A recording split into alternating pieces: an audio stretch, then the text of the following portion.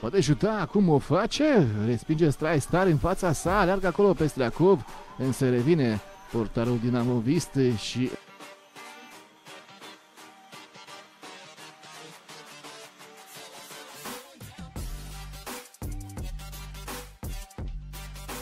Isită Fedorov a șutat la colțul scurt acolo unde se află adversar. Fedorov în care o advers șutează Fedorov și intervenție salvatoare pentru Igor Mostove. 0 la 0, iar noi revedem pe reluarea acea incursiune.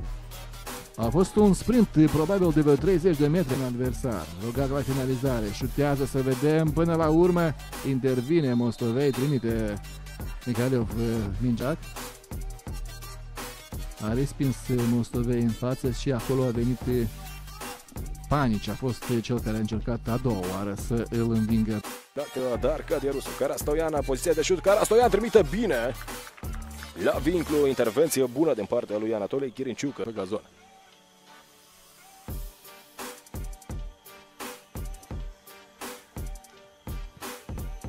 Revedem uh, și mingea trimisă de Gheceu. Este Alexandru Antoniuc Centrează Antoniu pericol la partea lui Vece Florești, aproape de 1 la 1 au fost și păstrează deocamdată poarta imaculată. Să vedem încă o dată pe reluare, dar și bara ea. Puntus în centru, Amogui, șutează Amogui, respinge de acolo Magoconenco un nou șut. Cea mai mare ocazie de până acum, după cele două, marca, două goluri marcate.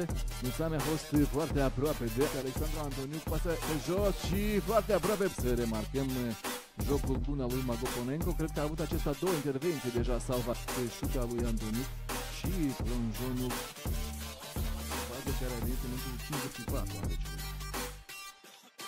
Joacă Onana, se înalță, mingea lovește transversală, Ion Jordan reușește Smalena, plăcă în joc. Extraordinară intervenție acestui portar Silviu Smalena. Pentru că vom vedea și reluarea.